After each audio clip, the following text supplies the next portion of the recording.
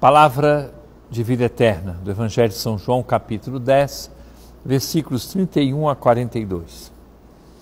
Naquele tempo, os judeus pegaram pedras para apedrejar Jesus e ele lhes disse: Por ordem do Pai, mostrei-vos muitas obras boas.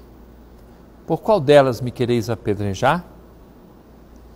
Os judeus responderam: Não queremos te apedrejar por causa das obras boas mas por causa da blasfêmia, porque sendo apenas um homem, tu te fazes Deus. Jesus disse: Acaso não está escrito na vossa lei, eu disse, vós sois deuses?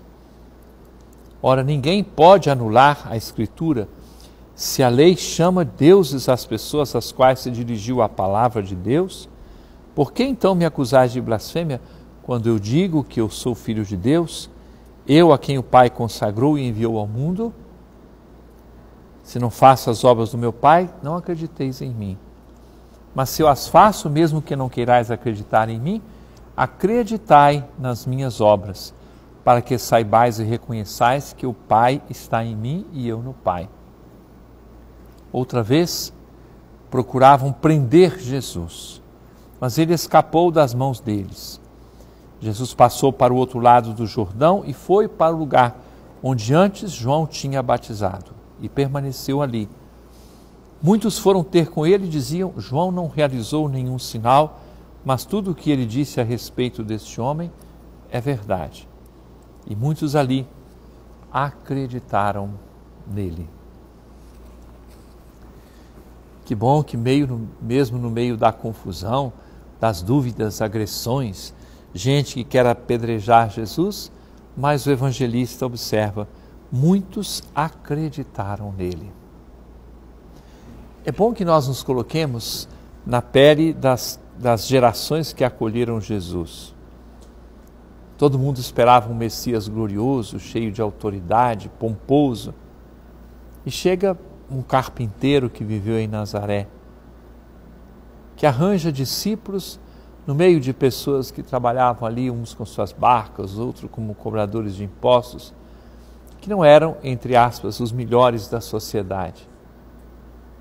Encontramos aquele Jesus que anda pelas estradas da Galiléia e da Judéia, como qualquer outra pessoa, que faz aqueles milagres que deixam todo mundo espantado, mas ninguém esperava que ele pudesse ter mais força do que isso. Entre pensar que ele fazia milagres e reconhecê-lo como Deus, aí passa uma distância. Quando daqui a alguns dias nós o contemplarmos com aquele texto do servo sofredor, na Sexta-feira Santa, ele é um verme, não um homem, opróbrio dos homens, é rebotalho do povo. E nós o reconhecemos, nós dizemos que ele é nosso Deus, que ele é nosso Senhor, que ele é o nosso Salvador, que ele redime a nossa vida, que ele transforma a nossa existência a chegar a isso, dá um belo trabalho dentro da cabeça e do coração de cada um de nós, até hoje. Eu quero pedir a Nosso Senhor que nós efetivamente estejamos no meio daqueles muitos que acreditaram nele e nele apostaram toda a sua existência. É palavra de vida eterna.